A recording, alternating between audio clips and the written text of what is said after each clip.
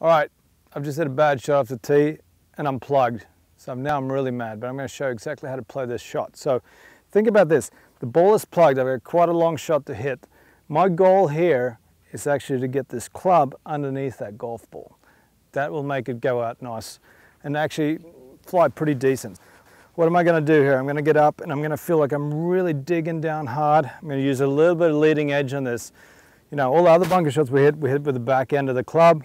This will be a leading edge, come in, drive it, and it's gonna sort of pop out of the bunker and then hopefully it'll chase down there about 35 feet towards the flag.